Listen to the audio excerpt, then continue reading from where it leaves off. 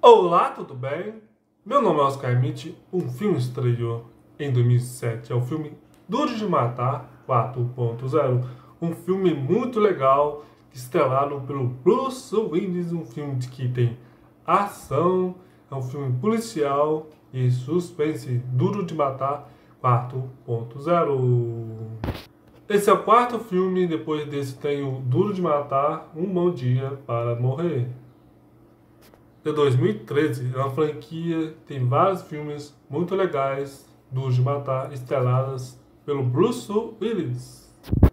Duro de Matar 4.0, o filme custou 110 milhões para ser feito, o filme foi muito bem nas bilheterias, arrecadando 388 milhões, o filme Duro de Matar 4.0 o filme tem crítica no site Rotten Tomatoes, tem crítica positiva no site Rotten Tomatoes, site crítica de 82%, de crítica positiva 82%.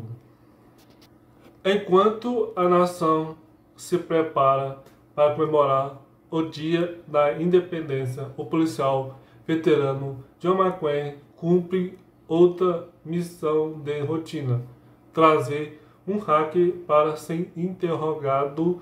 Enquanto isso, um vilão chamado Thomas Gabriel lança um ataque contra a infraestrutura dos computadores dos Estados Unidos quando o caos começa a se instaurar ao seu redor. McQueen é forçado a usar seus métodos antigos para lutar contra uma ameaça de alta tecnologia. Duro de Matar 4.0 é um filme de ação, policial e suspense, filme estreado pelo Bruce Willis, estreou em 2007. Esse é um filme que costumo assistir. Até a próxima e tchau!